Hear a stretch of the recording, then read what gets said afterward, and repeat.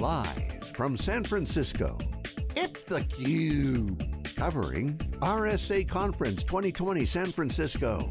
Brought to you by SiliconANGLE Media. Hey, welcome back everybody. Jeff Frick here with theCUBE. We're at the RSA conference in downtown San Francisco in Moscone. It's the fourth day of the show, 40,000 uh, some odd people here. It's all about security. It's the biggest security show in the world, despite the fact that there were some challenges with the coronavirus this year and you know, people were kind of wondering how that was going to shake out. There's been a lot of kind of weird stuff going on in the conference scene, but a lot of people got here, a lot of conversations around security, and we're really happy to have really a seasoned vet. He's been through this uh, cycle of security a couple of times. I think he said he's done four different startups, so we're happy to have him. Is Oliver Friedrichs, the VP Security Products at Splunk. Good to see you, Oliver. Thank you, great to be here. Absolutely, so let's take a step back. You've been coming to the show for a little while. What's kind of your, your impression of the show? Well, it's really interesting this year. You know, I think it's, uh, I'd say the energy level is somewhat flat, and I think it's a sign of our industry maturing and getting to the point where, you know, you used to see uh, some pretty big disruption every few years when compute changes, the threat sur attack surface moves, and the threats change with it, but things have been relatively stable. You know, the cloud is really the biggest, most recent uh, innovation, and so there really hasn't been, I think, any massive disruption in our industry for a little bit, but a lot of just continuous iteration and improvement on existing technologies. Right, there's some big ones coming down the pike though, right? One of the big ones that's going to have a huge impact is 5G and IoT. Uh, suddenly now that you know these things, people think 5G so you can talk to your mom faster on the phone. That's not what it's about yeah. at all, right? It's the speed of machines and, and the speed in which these transactions are going to be happening, not to mention all those connected devices, all those new attack surfaces very, very revolutionary, and yet the theme here is the human element. So when you think about speed of machines and, and increasing uh, kind of frequency of bot attacks, this and that, and yet there's still people that got to be on the hook and responsible for this stuff.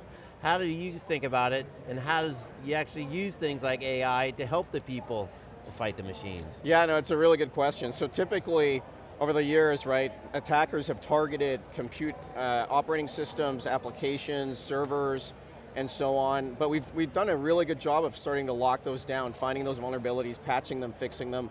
You know, that's, it's not a, it's, it hasn't been solved, right, that's a, it's an ongoing issue, but attackers have moved on to the weakest link, which is people, right? If I can convince you to send me your, you know, your bank account information or, or get access to your account and wire money out of your account, right? It's a lot easier than having to find a vulnerability in Microsoft Windows these days, which used to be pretty easy. Back 20 years ago, used to, eh, they're, they're there by the dozens. Right.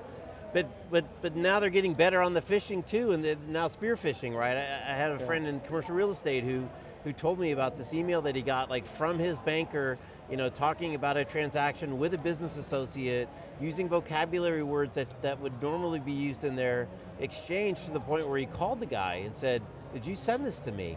Um, so, you know, the, the, the, the, bad English, bad grammar, and, and kind of funky word selection isn't necessarily that red flag that it used to be that don't click on here. We're still getting, you know, this, this attacking is happening. So how do, how do people get more sophisticated in light of kind of these more sophisticated attacks on the people? Yeah, so I think there's two things. One is, you know, hidden in there is, in, in that type of an attack is typically wire instructions, right? If, so if I'm buying a house, my escrow company or title company is going to send me wire instructions to send the money for the down payment on that house, for example. You know, that's, that's been a very, very common attack where you know, title companies not, may not be the most sophisticated like many of the organizations that are here today, uh, so definitely fall victim. So that's, that's definitely a, a, growing problem and a growing attack surface. We also see uh, you know, the need for new technologies like natural language understanding, actually understanding the context of the data. Uh, for example, what's the intent behind it? What's the meaning? Sure, it's not going to be misspelled, but can I find other uh, relevant factors or attributes of that email that uh, point out a red flag or something that I need to be concerned about before I actually click on it or open it or, or act on it? Right. So the company that you uh, led before Splunk acquired you, Phantom, you talked a lot about you know, trying to help, help the CSOCs do a better job, help them kind of filter filter what they don't need to respond to, prioritize what they need to respond to, and then respond quicker when they do. That's Tell right. us a little bit more about how that works and what's kind of the impact of having that technology on the front line. Yeah, so five years ago, automation and security really didn't exist. Uh, we created a new category called SOAR, Security Orchestration, Automation, and Response, and uh, it's a technology that allows you to automate what a SOC analyst would typically do by hand. So typically, You know, if, if an analyst is looking at an event, uh, it would take them 10 minutes best, best case, 11 hours worst case to analyze that and do all the work that they need to do to triage it.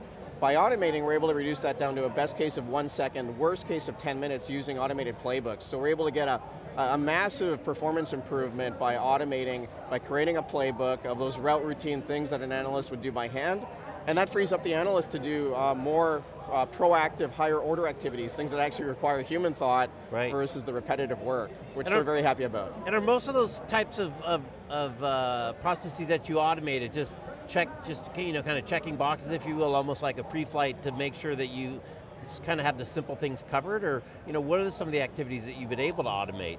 Yeah, so it's interesting. These, these platforms have become very flexible and multi-purpose. So today we integrate with over 300 different security vendors that are on the showroom floor here today to let you automate activities in those products. So the typical large enterprise has maybe 60, 70 security products that they're all managing from uh, a browser tab or a different login what SOAR platforms do is they tie those together and allow you to manage those products very rapidly in the case of an event. So for example, you know, if I have a, uh, a phishing email, I can take the attachment, detonate it in a sandbox from any of the sandbox vendors here on the showroom floor, look it up in my reputation service, like my VirusTotal Reversing Labs, for example, look it up on my EDR product on the endpoint to see, do any of my endpoints actually have this file?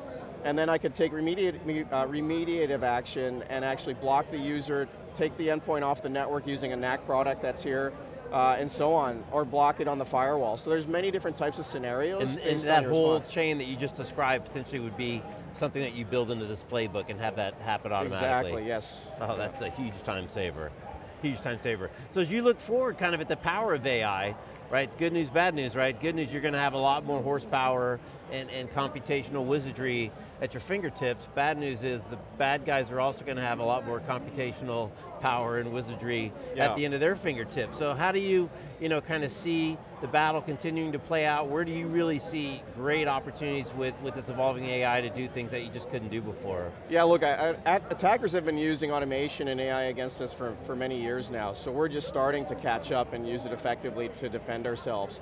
Uh, you know, it'll be very interesting to see where this goes. I, I don't know if I can predict, but imagine machines fighting machines just like in real life, in robotics and so on. In real physical kinetic warfare, imagine the same thing happening in cyber you know, is entirely conceivable. But I don't think we're quite there yet. I mean, we obviously see botnets and other automated attacks that are already very rampant and then automated countermeasures uh, that are there as well. So it'd be very interesting to even have you know, maybe one year here we'll have, uh, you know, robot wars for cyber and have, you know, technologies battle each other to see who wins. But what's yeah. crazy is, as much as the bots are fighting the bots, you know, we have uh, people in like uh, Rachel Toback we've had on a, a couple times. Yeah. She's she does social hacking. Okay. And uh, and she's basically 100% uh, successful in just calling people on the phone and giving her, them to, to, provide her the details. So it still is going to keep the people in, in the loop. We're still going to have to you know, make sure that they're not the weakest link. Absolutely. Yeah. yeah. All right, good. So final thoughts as you uh, head into 2020, the year we're going to know everything with the benefit of hindsight. well, look, I think one thing we're seeing, uh, there's so many vendors here, uh, things are coming together. You know, customers are looking to consolidate, they're looking to reduce, and one thing that we're very heavily focused on at Splunk is creating a single work surface for analysts so they don't have to deal with dozens of different consoles, right? Yeah. We're very, very focused on that. Working 70 tabs to work a process yeah. is not, uh, not very efficient. It's not ideal. No. All right, Oliver, well thanks for, uh, for taking a few minutes and stopping by and uh, continued success for you and Splunk. Thank you. All righty. He's Oliver, I'm Jeff. You're watching theCUBE. We're at RSA 2020 in downtown San Francisco. Thanks for watching. See you next time.